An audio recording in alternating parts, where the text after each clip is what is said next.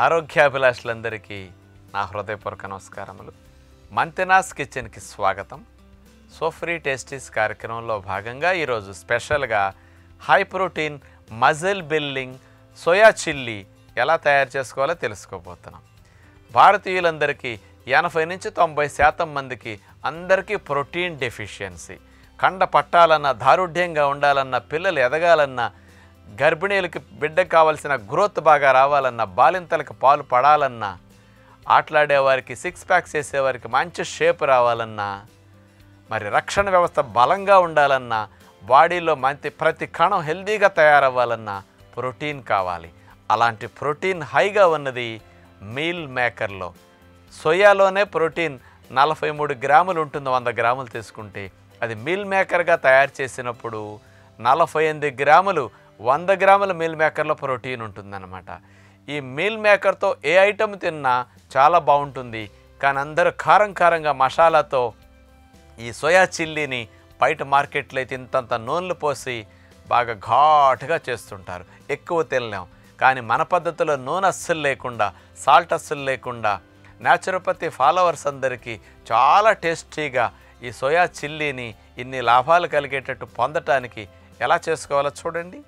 Soya chilli తయారు చేయడానికి కావలసిన పదార్థాలు మిల్ మేకర్ రెండు వందల యాభై గ్రాములు పెరుగు one cup carrot juice half cup టమాటా జ్యూస్ హాఫ్ కప్ క్యాప్సికమ్ ముక్కలు హాఫ్ కప్ ఉల్లిపాయ ముక్కలు హాఫ్ కప్ పచ్చిమిరపకాయలు మూడు నాలుగు టమోటా సాస్ రెండు టేబుల్ స్పూన్లు అల్లం పేస్ట్ వన్ టీ స్పూన్ మిరియాల పొడి టూ టీ స్పూన్స్ ధనియాల పొడి టూ టీ స్పూన్స్ జీలకర్ర పొడి two teaspoons chaat masala one teaspoon ఎర్రకారం పొడి వన్ టీ స్పూన్ మేగడ one tablespoon cornflour one tablespoon. కొత్తిమీర కొద్దిగా.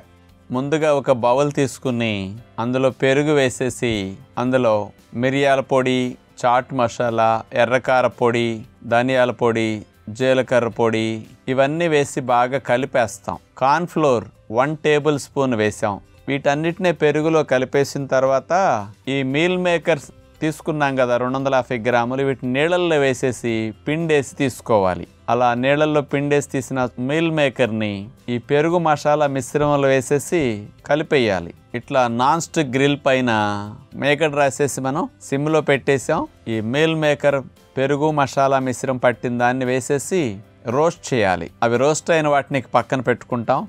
ముందుగా ఒక నాన్ స్టిక్ బౌల్ పెట్టుకున్నాం. అందులో మేగడ వేసేసి అల్లం పేస్టు పసుపు పచ్చిమిరపకాయ ముక్కలు ఉల్లిపాయ ముక్కలు క్యాప్సికమ్ ముక్కలు క్యారెట్ జ్యూస్ టమోటా ప్యూరీ ఈ రెండు వేసేసి వీటితో ఉడకనిస్తామన్నమాట. ఇందులో మిరియాల పొడి జీలకర్ర పొడి కాస్త ధనియాల పొడి చాట్ మసాలా ఇవి వేసేసి ఉడకనివ్వాలి.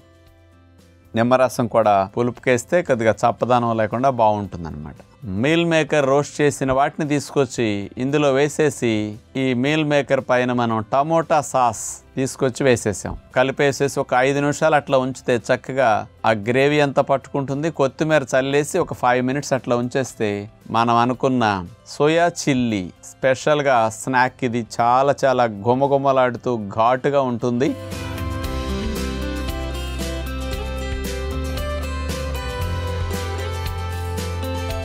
న్యాచురోపతి అంటే ఏదో వెజిటబుల్స్ తింటాం సలాడ్స్ తింటాం అనుకుంటారేమో.